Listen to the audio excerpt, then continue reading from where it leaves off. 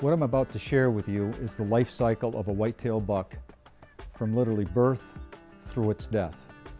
This first photo of mine that I took many years ago shows a spike whitetail. I took this photo in the Adirondacks of New York State. The snow depth was very deep, the winter was very cold, but if you look at this deer you would say that probably doesn't have any potential.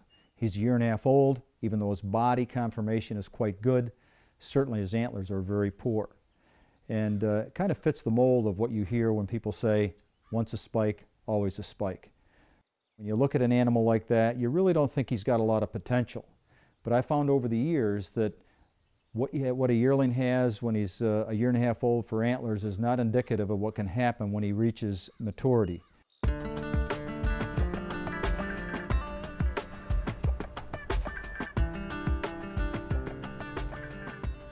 What is maturity? Uh, how do we know that that buck is mature? Well, first of all, from a physiological standpoint, bucks do not reach uh, skeletal maturity until they're roughly three and a half years of age. From a muscle standpoint, they don't reach maturity until they're about four and a half to five and a half. Up until that point, a lot of the nutrients that they consume are going towards skeletal growth, muscle growth, uh, just overall body growth. When they do hit that maturity point, then the partitioning of nutrients can switch more towards antler growth. So if we're trying to decide where is maturity, where do we know that the optimal amount of nutrients can go to antler growth, it has to at least be at the point where they've already reached skeletal maturity and muscle maturity.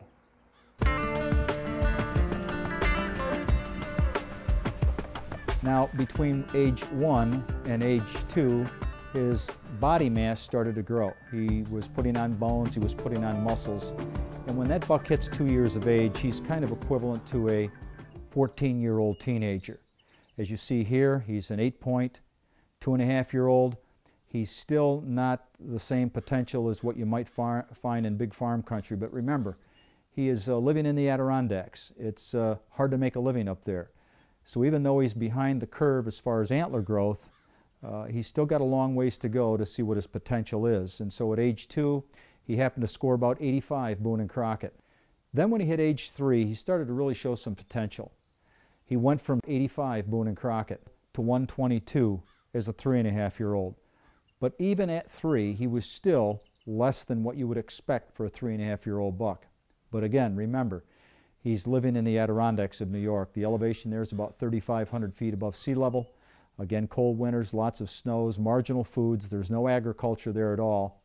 Now the interesting thing about this deer was that I own and operate a white-tailed deer research facility in western New York. We got the necessary permits from the state of New York. We tranquilized this deer. We transported him about 240 miles from the Adirondacks to uh, our farm in the western part of the state. And for the next year, this buck had literally everything known to man that he uh, could need from a food standpoint. We have 13 food plots inside the enclosure. Uh, we've got mass producing uh, acorn trees. We've got an apple orchard. We supplementally feed our deer twice, or twice a day. And so they've got great, great nutrition.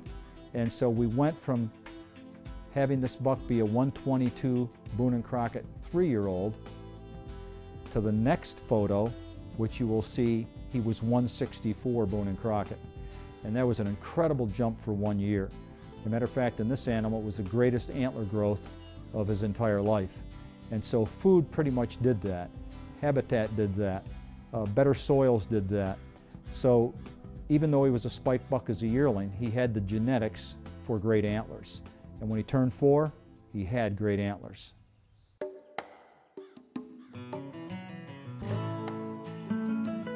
Then when he hit age five, uh, his antlers grew just a little bit more. Not great. He was now 165 as a five-year-old.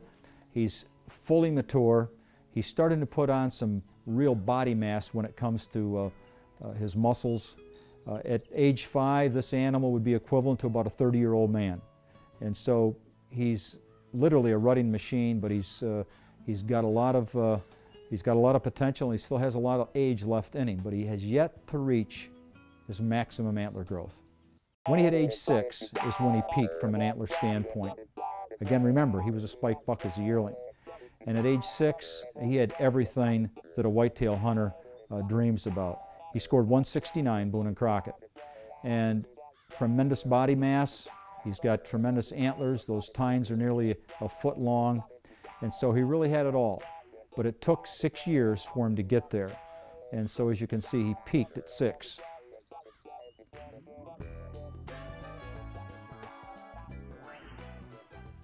Now at age seven, his antlers were nearly the same size. Matter of fact, it dropped about three inches. He's 166 Boone and Crockett as a seven-year-old. So he's still a great, great animal. His body is still tremendous. He's got lots of uh, uh, muscle structure. Uh, he certainly had an attitude. He was uh, now he's equivalent to a a 40-year-old man, but he's certainly got everything that a whitetail hunter would uh, cherish to hunt.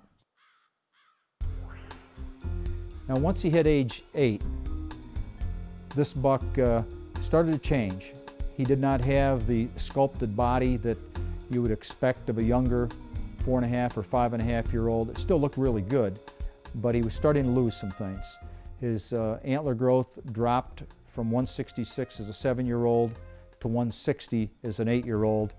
And he started to have uh, you know, a few stickers and kickers here on, the, on his rack. Uh, his attitude actually started to change about this age. And so he's putting on age. He's still an incredible specimen, but his antlers are starting to go the other way now.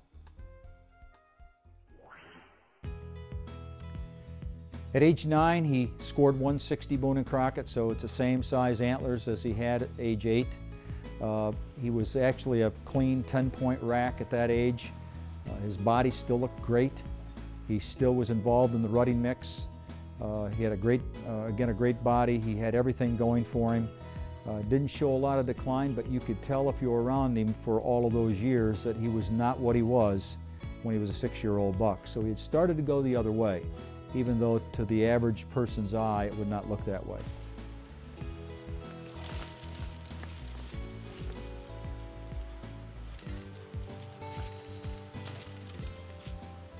When he hit age 10, you could see that some things were happening. I mean, this is an old man, so to speak, is certainly in a whitetail world.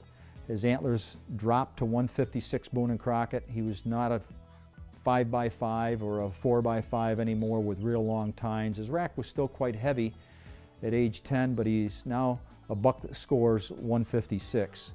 Also, his neck was not as full in the rut, nor was his front shoulders, so his testosterone level had started to drop.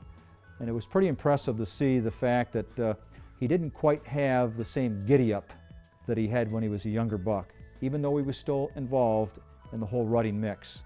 So he'd started to have a rapid decline at this point. At age 11, he really looked like an old man. Uh, still had heavy antlers.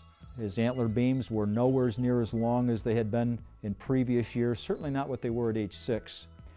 His antlers at age 11 were 143 Boone and Crockett. He was basically a 4x4 mainframe with some stickers. Uh, he no longer aggressively was involved in the rutting experience. And uh, you could really tell his age by looking at the size of his neck. You could tell it by the size of his front shoulders uh, during the month of November. He just didn't have it anymore. And his attitude was that uh, he was going to be a little bit involved in the rut, but it was nowhere near what it was before and so he would really started to decline at age 11. Something very interesting happened in the spring of his 12th year. We noticed that he started to drop body weight.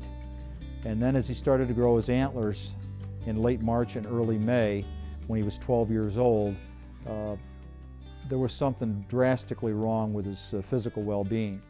Again, started to drop body weight. His antlers did not progress during the summer months that certainly not the way that we had seen it happen before. And so as he kind of inched into autumn, he was very thin. And then by the time late November rolled around, uh, he only carried antlers that were 105 Boone and Crockett, so very small, uh, typical of what you might see in a two and a half year old buck. And then uh, he wound up dying in December. And we did an autopsy on him and discovered that he had died of bone cancer. Bone, bones were very porous, and so his cycle had gone uh, the full gamut from a, a spike buck as a yearling to a majestic whitetail that peaked at age six, uh, maintained that peak for a couple of years, started to drop off, and then succumbed to old age. And so at age 12, uh, he died. He was actually 12 and a half when he died. And as you can see in this photo, you can see his ribs, you can see he's not, doesn't have much mass in his neck and his shoulders. He truly was an old man.